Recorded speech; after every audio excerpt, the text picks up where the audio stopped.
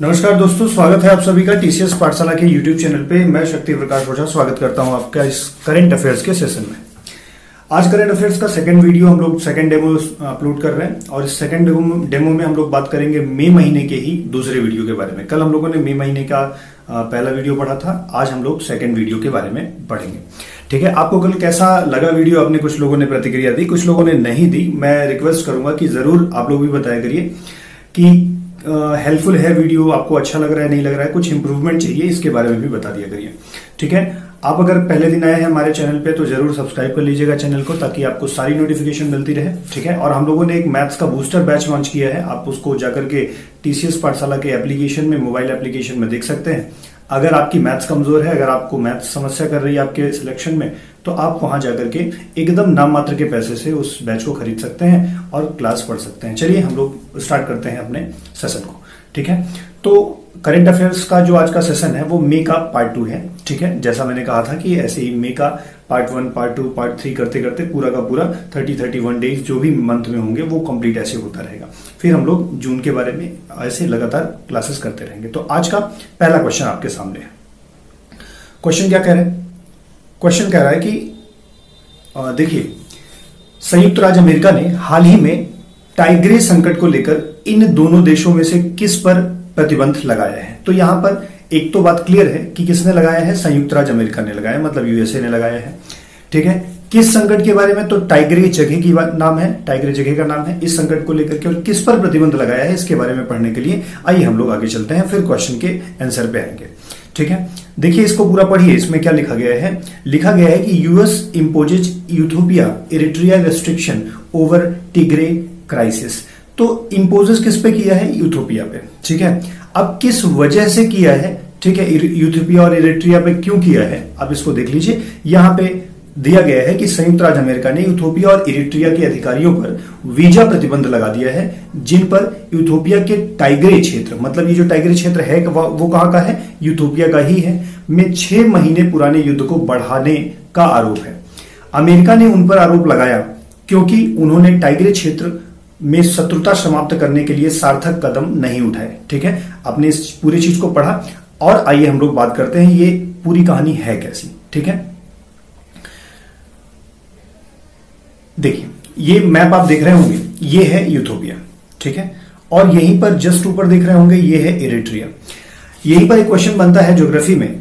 इस, ये Africa continent है और अफ्रीका कॉन्टिनेंट में ये देख रहे हैं, ये पूरा का पूरा जो आकार दिख रहा है, इसको बोलते हैं सींग। Horn of Africa. तो कई बार आपसे पूछ लिया जाता है कि हॉर्न ऑफ़ अफ्रीका में कितने देश हैं? ठीक है ना? तो हॉर्न ऑफ़ अफ्रीका में आपके कितने देश हैं? सीड हम लोग इसे याद करते हैं। सीड का मतलब है एस फॉर सोमालिया, ठीक है? यूथोपिया इरिट्रिया और जिबूती ये यहाँ पर ये जो चैनल है, इसे हम गल्फ ऑफ़ एडन बोलते हैं। ये भी ध्यान रखिए, गल्फ ऑफ़ एडन किसको किसको अलग कर रहा है? तो ये जिबूती और यमन को अलग कर रहा है। ठीक है? तो चलिए, हम लोग आते हैं। हम लोग बात कर रहे थे दो देशों के बारे में, जिनके बारे में चर्चा है। एक तो यूथोपिया के बारे में, एक और इरिट्रिया के बारे में। आप थोड़ा सा और आगे बढ़ेंगे कुछ दिन पहले। आपने देखा था कि 2019 में एक नोबेल प्राइज दिया गया था शांति का, ठीक है? और वो नोबेल प्राइज जिनको मिला था, वो यूथोपिया के ही प्रेसिडेंट थे। मैं उनके बारे में आपसे डिस्कस करता हूँ। ये है, ठीक है? यूथोपिया के प्रेसिडेंट नहीं सॉरी प्राइम मिनिस्टर थे, ठीक है? अबी अहमद। तो ये जो अभी अहमद साहब हैं, इन्हीं को नोबेल प्राइज मिला था। किसके लिए? इरिट्रिया से इन्होंने अपने लॉन्ग टर्म के संघर्ष को समाप्त कर दिया था। मतलब यूथोपिया के प्राइम मिनिस्टर हैं और इन्होंने यूथोपिया से क्या शांति वार्ता बनाई थी? दो देशों के बीच की लड़ाई को समाप्त कर दिया था। इस वजह से इनको नोबेल प्राइज दिया गया था। अब आप समझ रहे होंगे कि ये जो प्राइम मिनिस्टर साहब ऐसा किए हैं इस वजह से इनकी पॉपुलरिटी बहुत ही ज़्यादा बढ़ गई। और इनकी पॉपुलरिटी जब बहुत ज़्यादा बढ़ गई तो बहुत सारी जो छोटी छोटी पार्टी थी यूथोपिया की वो यूथोपिया की जितनी भी छोटी छोटी पार्टी थी वो सब जो है वो आ, इनके साथ अभी अहमद के साथ जुड़ गई और इन्होंने 2019 में आई थिंक एक दिसंबर 2019 या एक दिसंबर 2018 ऐसा कुछ है, जहाँ पर अपनी पार्टी बना ली, ठीक है? और अपनी पार्टी बना करके ये उस पार्टी से पीएम हो गए। लेकिन यही यूथोपिया का एक जगह है, ये टिगरे, जो किसका जगह है, यूथोपिया का जगह है। तो यूथोपिया में सारी पार्टियाँ तो लगभग इनकी पार्टी से मिल गई, लेकिन एक पार्टी ऐसी थी जो वहाँ की बहुत पहले की पार्टी है। उस पार्टी का नाम देखिए, यहाँ पे दिया गया है टिग्रे पीपल्स लिबरेशन फ्रंट। ठीक है? ये जो प्रॉस्पेरिटी पार्टी बनी है, ये प्रॉस्पेरिटी पार्टी एक दिसंबर 2019 को बनी है ना? तो ये 2019 को जो प्रॉस्पेरिटी पार्टी बनी है, इसके प्रेसिडेंट कौन है? अभी अहमद साहब है। और जितने भी छोटे छोटे दल थे, वो अभी अहमद के साथ जुड़ गए। ठीक है? और ये जो टिगरी पीपल्स लिबरेशन फ्रंट था, ये उनके साथ नहीं जुड़ा और ये अलग से अपना विपक्ष के रूप में वहाँ पे था। कहा जाता है ना कि जब एक तरीके से इतना बड़ा पावर किसी को मिल जाए, इतनी प्रशंसा हर जगह होने लगे तो उसको अपना विपक्ष समाप्त करने का मन करता है। अपना विपक्ष समाप्त करने का मतलब है, उसके मन में यह भी होता है कि टिगरे पीपल्स लिबरेशन फ्रंट भी किसके साथ जुड़ जाए? हमारे साथ जुड़ जाए। लेकिन ऐसा जो टीपी एल वाले लोग हैं मतलब टिगरे पीपल्स लिबरेशन फ्रंट वाले हैं, इन्होंने ऐसा नहीं किया। अब इन्होंने ऐसा नहीं किया तो ये यही पूरा विवाद है। मामला क्या था? यूथोपिया के जो वो हैं पीएम है मतलब अहमद साहब हैं ये, अभी अहमद। तो इन्होंने इलेक्शन को कोविड 19 की वजह से रोक दिया। और ये जो लिबर क्या कहते हैं पीपल्स लिबरेशन फ्रंट है, टिगरे में जो प्राइमरली रूल कर रहा है, इसने कहा भाई कि आप इलेक्शन करवा दीजिए। तो जब इन्होंने कोविड 19 का मतलब प्रेसिडेंट इन्होंने कोविड 19 का बहाना करते हुए या कोविड 19 के सिचुएशन के कारण कहा कि अभी इलेक्शन नहीं हो सकते हैं तो वो जो टिगरे में पार्टी है जो अपोजिशन वहाँ पर रूल कर रहा था उसने वहाँ पे लोकल इलेक्शन अपने आप करवाने चालू कर दिए। और अपने आप जब लोकल इलेक्शन करवाने चालू कर दिए तो ये जो यूथोपिया के प्राइम मिनिस्टर हैं ये उस पर प्रतिबंध लगाना चालू कर दिए और कहीं ना कहीं ये बातें बिगड़ गई। तो जो आ, क्या कहते हैं इस पर है टिगरे है इसको लेकर के यूथोपिया कहीं ना कहीं उस पर लगातार प्रतिबंध लगाते हुए चला जाता है। अब इस बात से क्या हो जाता है? डिस्टर्बेंस क्रिएट हो जाता है। ठीक है? भाई, एक तरफ़ आप इतना महान काम करते हैं कि शांति वार्ता करते हैं, दूसरी तरफ़ आपसे अपनी ही बातें नहीं समझ रही हैं तो इन सब बातों में कहीं ना कहीं बड़ा क्लैश हो जाता है, जिसमें बीच में यूएस आता है, ठीक है? और यूएस क्या करता है कि यूथोपिया को भी रिस्ट्रिक्शंस लगाता है और इरिट्रिया को भी लगाता है। अब देखिए, जब यूथोपिया में ही क्या होने लगेगा? कि विवाद होने लगेगा यहाँ पर। तो इरिट्रिया कहीं ना कहीं इस बात को और बढ़ावा देगा, ठीक है? क्योंकि भाई, इरिट्रिया तो पहले से यूथोपिया के साथ संघर्ष में लगा हुआ है। तो ये सारी कहानियाँ थी जिससे यूथोपिया ने क्या लगा दिया है सॉरी, अमेरिका ने क्या लगा दिया है, वो प्रतिबंध लगा दिया है। अब देखिए, ये कॉन्फ्लिक्ट एक्चुअली हुआ क्या, ये पूरा का पूरा लाइन देख लेते हैं। The conflict between Ethiopian government and TPLA ये वही विपक्ष वाली पार्टी है began with the appointment of Abiy Ahmed Ali as the prime minister of country 2018 में ये विवाद चालू होता है, क्योंकि जो टीपीएलएफ है मतलब जो टिग्रेशन वो पार्टी है, वो अभी अहमद के प्रेसिडेंट बनने से विवाद की शुरुआत होती है। 2019 के पहले जो टिग्रस पीपल लिबरेशन फ्रंट थे, वो यूथोपिया की गवर्निंग एक मतलब जब वहाँ की सरकार बनती थी तो वो भी उसका पार्ट हुआ करती थी। लेकिन जब क्या कहते हैं अभी अहमद की पार्टी बनी तो इसने क्या कर दिया रिफ्यूज कर दिया कि हम प्रॉस्पेरिटी पार्टी ज्वाइन नहीं करेंगे। ठीक है? अब जो टिगरे लिबरेशन फ्रंट है, वो एक तरीके से भाई पहले की पार्टी है तो उसमें ज़रूर इन्फ्लुएंशियल लीडर्स होंगे, ठीक है? अब इसकी वजह से क्या हो गया? उसने मर्जर से मना कर दिया और मर्जर से मना कर देने की वजह से वो अकेले ही विपक्ष के रूप में काम करने पर राज़ी हुई। तो कहीं ना कहीं मैंने अभी आपको कहा था कि ये बात अभी अहमद को ठीक नहीं लगेगी और इसी तरीके से धीरे धीरे एक तरफ़ जो क्या कहते हैं टीपीएलएफ है और एक तरफ़ प्रॉस्पेरिटी पार्टी इन दोनों के बीच में टसन बनी हुई थी, ठीक है? अभी उन्होंने लोकल जो क्या कहते हैं इलेक्शन करवाने चालू कर दिए, इसकी वजह से टेंशन और ज़्यादा बढ़ गई। ठीक है तो ये मैंने आपके लिए सीट का पूरा का पूरा चारों देश के बारे में रख रखा है, आप इसे देख लीजिएगा। सीट का भी क्वेश्चन तो इस तरीके से पहले क्वेश्चन को कंप्लीट कर लेते हैं। अब यहाँ पे देखिए आपका इसका प्रश्न का आंसर कौन सा होता है पहला? कि हाल ही में संयुक्त राज्य अमेरिका ने टिगरे संकट को लेकर के इन देशों में से किस पर प्रतिबंध लगाया है? तो वो प्रतिबंध किस पर लगाया है भाई? टिगरे इरिट्रिया और यूथोपिया पर। ठीक है? चलिए, अगले प्रश्न पे चलते हैं क्वेश्चन नंबर दो क्वेश्चन नंबर दो क्या कहता है? कि हाल ही में किस एजेंसी ने विश्व का प्रथम, एक मिनट रुकिएगा हाल ही में किस एजेंसी ने विश्व का प्रथम व्यापक roadmap net zero emission roadmap 2050 जारी किया? अब यहाँ पे एक नई बात है, यहाँ से समझिएगा ज़ीरो एमिशन ठीक है ना? ज़ीरो एमिशन रोड बैंक किसने चालू किया है? तो आपको कुछ दिन पहले एक न्यूज़ रही होगी, आपने देखा होगा कार्बन ज़ीरो की बात हो रही थी। ये कुछ ऐसा ही है ज़ीरो एमिशन देखते हैं ये क्या है। चार ऑप्शन आपके सामने दिए हुए हैं, लेकिन इसको ऑप्शन सही करने से पहले देखते हैं, इसके पीछे का काम क्या है, किसने ऐसे करा हुआ है। देखिए नेट ज़ीरो बाई दो हज़ार पचास। तो नेट ज़ीरो एमिशन कब तक करने की बात है? दो हज़ार पचास तक है। इस बात को ध्यान रखिएगा। अब इसके बारे में रेफरेंस में देखिए क्या है। हाल ही में अंतरराष्ट्रीय ऊर्जा एजेंसी मतलब इंटरनेशनल एनर्जी एजेंसी शुद्ध शून्य उत्सर्जन मतलब net zero emission road map जारी किया है। और इसका नाम क्या रखा है? Net zero emission net zero emission का मतलब आप समझ रहे हैं ना कि ऐसे एमिशन को कम करना, जो क्या कहते हैं पॉल्यूशन क्रिएट करता है। मैं इसके बारे में थोड़ा सा एग्जांपल ऐसे करूँ। जैसे मान लीजिए, अगर देश में पॉल्यूशन बहुत ज़्यादा हो रहा है कार्बन डाइऑक्साइड का उत्सर्जन ज़्यादा हो रहा है तो इसको कम करने का क्या तरीका है? दो मेथड है। मेथड नंबर एक है कि एक काम कर दीजिए, जिससे एमिट हो रहा है। जैसे मान लीजिए भट्टे चल रहे हैं, बहुत सारे ब्रिक जो फर्नेस है, और ऐसे ही बहुत सारे फैक्ट्रीज चल रही जहाँ से कार्बन डाइऑक्साइड का खूब एमिशन हो रहा है। तो एक काम करिए, उन्हें बंद कर दीजिए। दूसरा तरीका ये है कि बैलेंस कर दीजिए मतलब ज़ीरो एमिशन कर दीजिए। अगर मान लीजिए कि एक टन एग्ज़ाम्पल दे रहा हूँ, एक टन मान लीजिए कि कार्बन डाइऑक्साइड का उत्सर्जन होता है तो एक टन को बराबर करने के लिए कंपेंसेट करने के लिए उतना ही आप पेड़ लगा दीजिए जो कंज्यूम कर जाए। ठीक है तो जितना उत्सर्जन हुआ, उतना ही समाप्ति हो गई तो एक तरीके से बैलेंस बन गया। इसको भी हम लोग बोलते हैं ज़ीरो एमिशन तो नेट ज़ीरो 2050 तक करने की बात है। अभी हमारे यहाँ एमिट ज़्यादा हो रहा है और एब्जॉर्प्शन कम है। ठीक है तो पूरे विश्व की ये बात है कि 2050 तक हम लोग ऐसा करेंगे। ये पहला ऐसा रोड मैप मैप है दुनिया का। ठीक है, दुनिया का पहला ऐसा रोड मैप है जो कॉप ट्वेंटी सिक्स में लिया गया था। ये भी ध्यान रखिएगा सीओपी ट्वेंटी सिक्स में लिया गया था, ठीक है? और कहा लिया गया था? स्कॉटलैंड के ग्लासको ग्लासगो में। तो आप इतना ध्यान रखिएगा, ये किसने किया है? आईईए ने किया है सोलर इंटरनेशनल एनर्जी एजेंसी ने किया हुआ है। शुद्ध शून्य उत्सर्जन का तात्पर्य है कि उत्पादित ग्रीन हाउस गैस उत्सर्जन और वातावरण से निकले ग्रीन हाउस गैस उत्सर्जन के बीच एक संतुलन प्राप्त करना। मैंने कहा ना, बराबर कर देना। मतलब ये इतना हानिकारक था, उतना ही हानि कम कर देना। ठीक है सीओ टू अगर जितना एमिट हुआ, उतना ही उसको कंज्यूम करने का ऑप्शन ला देना। उतने ही पेड़ लगा देना, उतने ही क्या कहते हैं, किसी भी तरीके से बैलेंस करना, कुल मिला करके ठीक है? तो ये पूरे ऑप्शन आपको समझ में आए होंगे, मुझे लगता है। और ये आई इंटरनेशनल एनर्जी एजेंसी के बारे में आप समझिएगा। ये है, इसके हेडक्वार्टर कहाँ है? पेरिस पे है, ठीक है फ्रांस कितने मेंबर हैं इस समय? तीस मेंबर हैं, ठीक है? इसके बारे में थोड़ा सा आप पढ़ना चाहें तो पढ़ सकते हैं कि आईईए ने क्या किया है 2050 तक नेट ज़ीरो एमिशन की बात की हुई है, ठीक है? कैसे नेट ज़ीरो एमिशन हो सकते हैं? तो आठ तरीके उसने ऐसे बताए हैं। देखिए, यहाँ दिया increase solar and wind energy मतलब जो रिन्यूएबल एनर्जी है, जो प्योर एनर्जी जिससे कि प्रदूषण नहीं होता, उनको ले आओ, ठीक है ना? और व्हीकल का, क्या कहते हैं इलेक्ट्रिसिटी पे व्हीकल को ट्रांसपोर्ट करो इससे डीजल पेट्रोल से खत्म करिए ना, इस तरह से करके आठ तरीके इन्होंने बताए हुए हैं।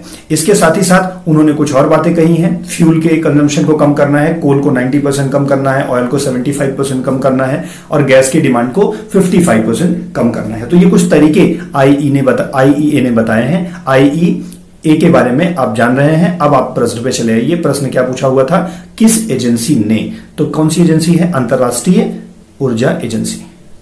कब तक? 2050 तक। चलिए, क्वेश्चन नंबर तीसरे पे चलते हैं। क्वेश्चन नंबर थर्ड है।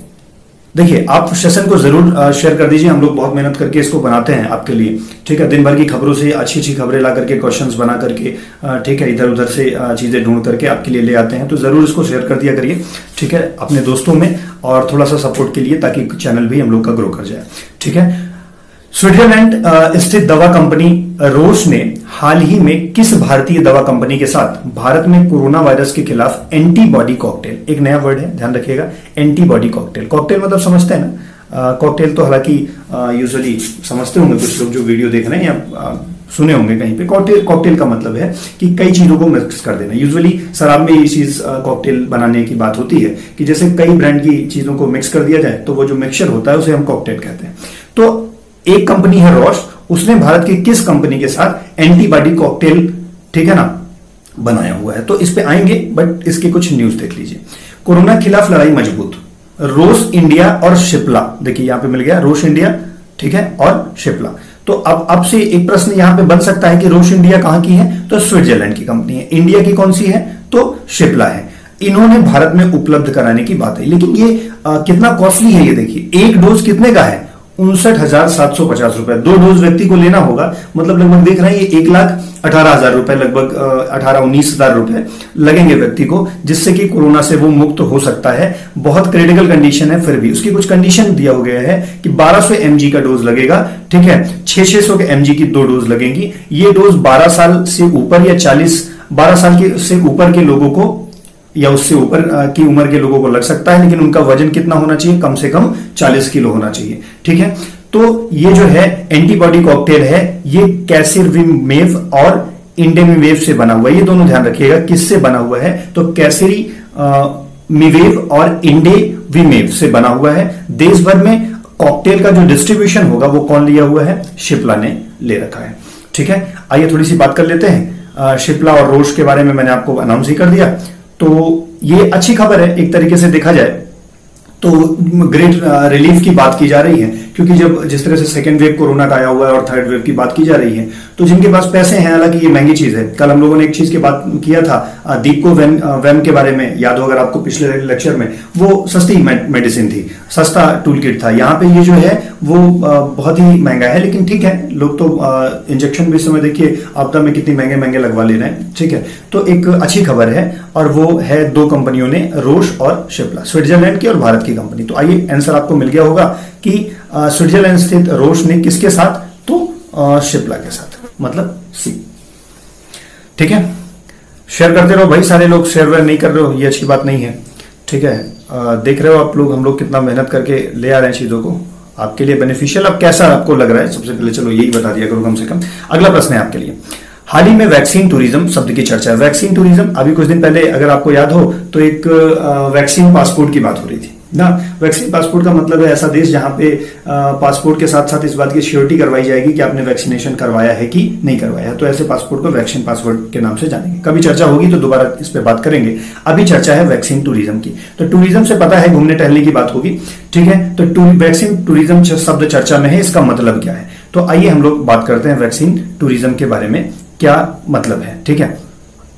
तो कोविड 19 की दूसरी लहर और दुनिया भर में बड़े पैमाने पर टीकाकरण कार्यक्रम के बीच वैक्सीन टूरिज़्म शब्द गति पकड़ रहा है। दिल्ली मास्को के लिए अरेबियन नाइट टूर्स नामक दुबई स्थित ट्रेवल एजेंसी द्वारा वैक्सीन टूर पैकेज के मसौदे के बाद मतलब कि एक वो टूर एंड ट्रेवल्स है, उसका नाम है अरेबियन नाइट नाइट्स टूर्स। इन्होंने क्या कर दिया है? इन्होंने अनाउंस किया है वैक्सीन टूर पैकेज ठीक है? तो तभी से वैक्सीन टूरिज़्म नाम का शब्द चर्चा में है। ठीक, कौन सी है? Arabian night tours. ठीक है? वैक्सीन पर्यटन को वहाँ जॉब प्राप्त कराने के अतिरिक्त लाभ के साथ साथ दर्शनीय स्थलों की यात्रा विभिन्न मतलब एक सीधी सीधी बात है उसने कहा है कि आप यहाँ से जाएँगे तो आपको वैक्सीनेशन तो होगा ही वहाँ के जितने साइट्स हैं घुमाया भी जाएगा। तो एक तरीके से आप घूमेंगे भी और वहाँ पे जैसे मान लीजिए चौबीस दिन का समय है तो चौबीस दिन के अंदर एक डोज जाते समय लग जाएगी एक डोज वहाँ से बीस इक्कीस दिन में लगनी है तो आते समय एक डोज लग जाएगी आपका वैक्सीनेशन भी हो जाएगा और वहाँ से आप वापस भी चले आएँगे। तो रूस जैसे देश के लिए आगे आ, क्या कहते हैं उन्होंने अनाउंस किया है तो हालाँकि ये प्रमाणित नहीं है, अभी आप देखेंगे कि आगे ये चीज़ मना कर दिया गया है, लेकिन वैक्सीन टूरिज़्म का सीधा सीधा मतलब है कि इस देश से किसी अन्य देश की यात्रा करवाना और जहाँ पे वैक्सीनेशन भी है, साथ में घूमने टहलने का भी प्रावधान है। तो वैक्सीनेशन भी है और टूरिज़्म भी है। इसी को हम लोग वैक्सीन टूरिज़्म कहते हैं। ठीक है? क्लियर हो गया होगा? अब यहाँ पर प्रश्न आते है, आता है कि व्हाट इज़ वैक्सीन टूरिज़्म आप समझिए, क्या भारत के लोग कोविड नाइन्टीन के लिए बाहर वैक्सीन टूरिज़्म के लिए जा सकते हैं? तो इसके लिए कुछ आ, क्या कहते हैं ये आपदा में अवसर है ही। मैंने अभी बताया भाई टूरिस्ट ट्रेवल्स वाले ने इसको एक तरीके से आपदा में अवसर कन्वर्ट कर लिया। यहाँ तक कि वो लोग उसके लिए भी कह रहे हैं कि वीज़ा वीज़ा सब हम दिलवा देंगे टेंशन लेने की बात नहीं है ठीक है? हमारे जो यूनियन मिनिस्टर है ठीक है प्रहलाद पटेल इन्होंने कहा हुआ है कि देर में भी नो नीड किसी को ज़रूरत नहीं है भारत सक्षम है टीका वीका लगा देगा आपका। आप टेंशन मत लो उतनी दूर जाकर टीका मत लगवाओ। ये हमारे मिनिस्टर ने कहा हुआ है। जबकि ये सुभाष गोयल साहब क्या कहते हैं इन्होंने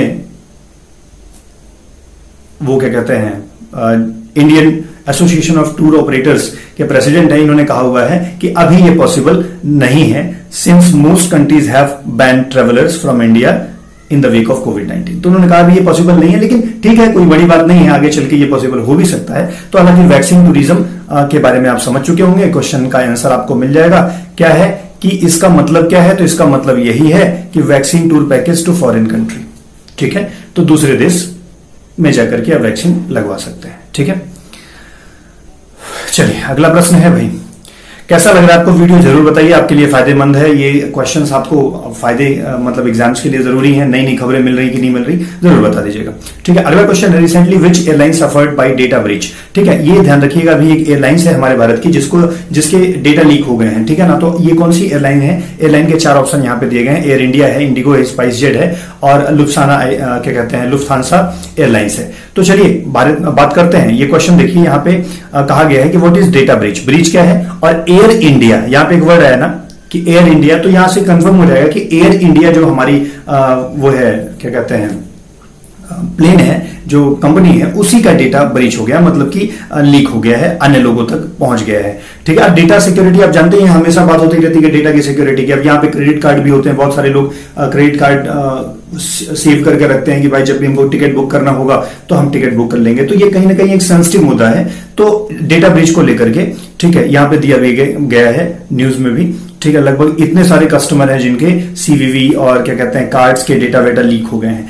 ठीक है एक्चुअली हुआ क्या कि भारत जो है वो एयर इंडिया जो है वो सीटा ये कंपनी का नाम याद रखिएगा सीटा पैसेंजर ये कंपनी है जिसको भारतीय, भारत ने क्या कर रखा है? ये स्विट्जरलैंड बेस्ड एक कंपनी है, ठीक है ना? और ये सारा टिकटिंग का मामला संभालती है। मतलब एयर इंडिया टिकट खुद नहीं करती, बल्कि वो एक कंपनी को ये दे दी हुई है कि आप सारा टिकटिंग का प्रोसीजर देखेंगे। तो इसी, यही पूरा का पूरा काम करती है। लेकिन हम अभी जो डेटा लीक हो गया है तो कहीं ना कहीं एक टॉक ऑफ़ द टाउन बना हुआ है कि ऐसा कैसे हो गया, ठीक है?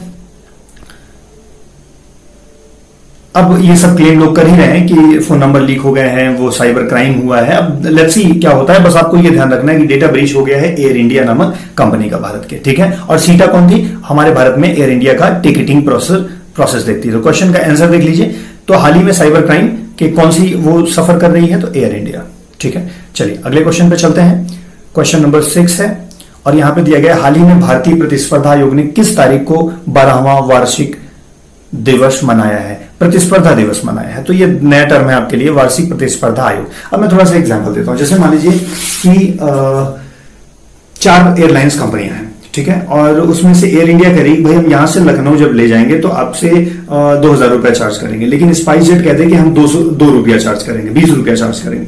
तो अब बताओ भाई एयरलाइन जो, क्या कहते हैं इंडियन एयरलाइंस मतलब स्पाइस जेट में तो लोग आ जाएँगे एयरलाइंस में लोग नहीं जाएँगे 2000 में। तो कहीं ना कहीं देखो पूरा, अब इस पे जब एयरलाइन कहेगा उस पर स्पाइस जेट से कि भाई ऐसा क्यों कर रहे हैं, वो कह रहा है, चाहे हमारी खाली ट्रेन हमारी खाली के कहते हैं वो फ़्लाइट चली जाए, या हमको भरनी है फ़्लाइट हम बीस रुपए में लेके जाएँगे।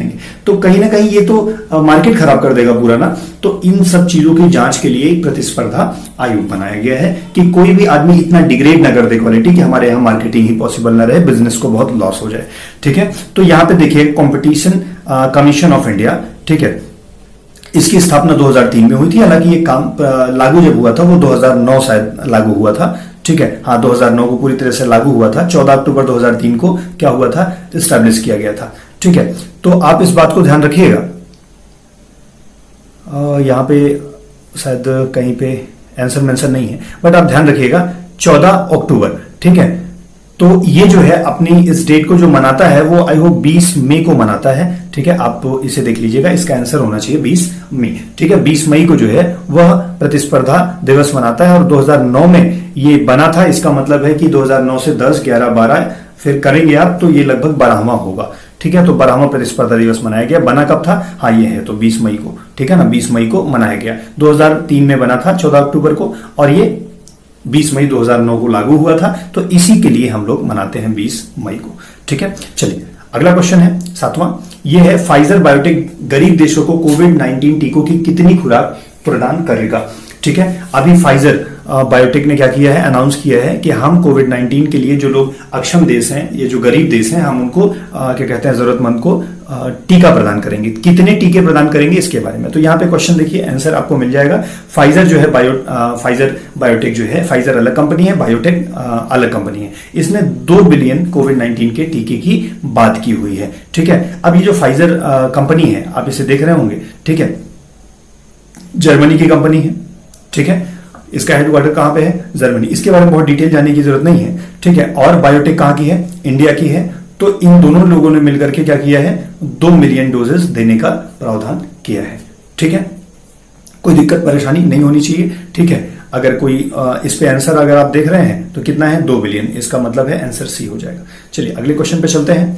और ये क्वेश्चन है आठवां नंबर। अंतर्राष्ट्रीय जैव विविधता दिवस हर साल किस तारीख को मनाया जाता है? मुझे लगता है आपका आंसर आपको मिल गया होगा, ठीक है? 22 मई। ठीक है, आगे आंसर भी देख लीजिए 22 मई 2021 को मनाया जाता है। संयुक्त राष्ट्र महासभा ने उन्नीस सौ तिरानवे में 22 मई को जैव विविधता के मुद्दों की समझ और जागरूकता बढ़ाने के लिए, ठीक है इंटरनेशनल डाइवर्सिटी बायोडाइवर्सिटी डेज़ के रूप में घोषित किया। डे फॉर बायोडाइवर्सिटी आईडीबी का मतलब इंटरनेशनल डे फॉर बायोडाइवर्सिटी ठीक है तो एक तारीख यहाँ पे याद रखिएगा। बायोडाइवर्सिटी मतलब समझते हैं ना कि विभिन्न प्रकार के जीवों का संरक्षण।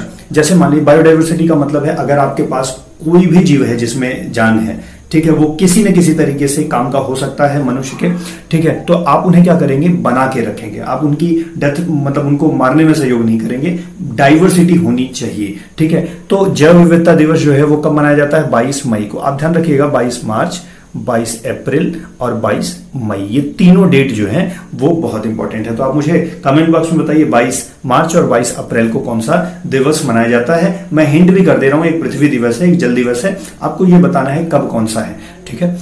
कमेंट कर दीजिए जल्दी से। अगला प्रश्न है आपके लिए नौवा। लोगों के लिए घर में पर्यवेक्षित और त्वरित चिकित्सा देखभाल प्रदान करने के लिए किस राज्य ने संजीवनी परियोजना, आप ध्यान रखिएगा, संजीवनी परियोजना किस राज्य ने चालू की है? आंसर आपको तुरंत मिल ही जाएगा। देखिए, यहाँ पे हरियाणा दिया हुआ है। आप इसको पूरा पढ़ लीजिए। हरियाणा ने 24 मार्च 2021 को एक कोविड विरोधी संजीवनी परियोजना शुरू करेगा। यह ग्रामीण क्षेत्रों में रहने वाले लोगों को कोविड नाइन्टीन के हल्के माध्यम से लक्षणों वाले लोगों के लिए घर पर एक पर्यवेक्षित और त्वरित चिकित्सा देखभाल प्रदान करेगा। ठीक है, उनको सुपरवाइज भी करेंगे और ट्रीटमेंट भी देंगे। उन लोगों के लिए चिकित्सा देखभाल लाने का महत्वपूर्ण कदम है, जिन्हें इसकी सबसे ज़्यादा ज़रूरत है। अब भाई, गाँवों में तो कहीं ना कहीं बहुत ज़रूरी है ना? तो इसके लिए हरियाणा राज्य ने शुरू किया है, उत्तर आपको मिल गया होगा, ए हरियाणा है। ठीक है? चलिए, अब इसके बाद अगला क्वेश्चन है और आज का आखिरी क्वेश्चन है। हाल ही में श्री कुमार बनर्जी का निधन हो गया है। वह किस क्षेत्र से जुड़े हुए थे? तो आइए इनके बारे में देखते हैं। श्री कुमार बनर्जी चार है, कला क्षेत्र, राजनीति और परमाणु वैज्ञानिक। तो ये है श्री कुमार बनर्जी साहब। और यहाँ पे यूएस इंडिया न्यूक्लियर डील आपको सर, क्या मदद कर रहे हो? यहाँ पे बात किसी और की हो रही, ला करके कुछ और रख दे रहे हो। तो ये देखो यूएस इंडिया न्यूक्लियर डील हुई थी जो, उसमें श्री कुमार बनर्जी साहब का बड़ा योगदान था। उसके लिए देखिए, नरेंद्र मोदी साहब का क्या कहते हैं, ट्वीट भी है, आप इसको पढ़ सकते हैं। तो ये एक न्यूक्लियर साइंटिस्ट थे, ठीक है? और फॉर्मर चेयरमैन थे ऑटोमिक एनर्जी कमीशन के, ठीक है? और अब इनका डेथ किसकी वजह से हुआ है? हार्ट अटैक की वजह से हुआ है। जब इंडिया का न्यूक्लियर डील साइन हो रहा था तो इनकी महत्वपूर्ण भूमिका भी रही है। तो ये न्यूक्लियर साइंटिस्ट थे। आपका आंसर आपको मिल गया होगा, यहाँ पर ए है, ठीक है?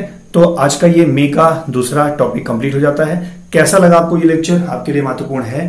आप इसे ज़रूर नोट कर लिया करिए। मैं इतना ज़रूर कहता हूँ कि अगर आप इसको पूरे ठीक से पढ़ते रहेंगे तो आपको बाकी करंट अफेयर्स के लिए परेशान होने की ज़रूरत नहीं पड़ेगी। Thank you very much